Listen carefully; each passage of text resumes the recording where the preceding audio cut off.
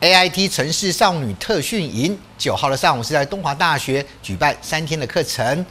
AIT 在台协会处长厉英杰、县长徐增卫、东华大学校长蔡涵杰、台湾微软公司的董事长等人都到场来出席，并且非常感谢 AIT 在台协会能够选择在东华大学举办第一届的城市少女特训营活动。让东部的孩子能够和世界来接轨。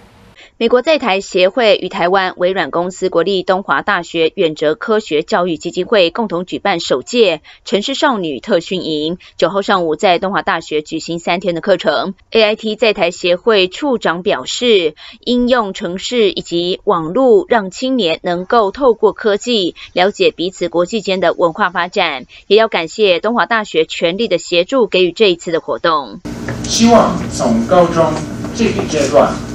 就开始培养女孩们的资讯技能，为职场竞争竞争力打下基础。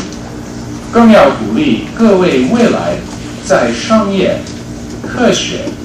技术、政治和创意等领域能占有一席之地，发挥女性的影响力。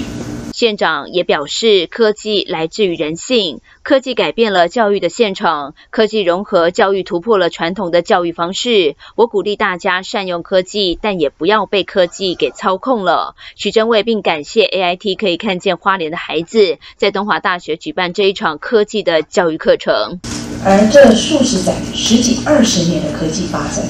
让科技的发展越来越强大。正卫啊，你要在这里。跟我们的孩子说，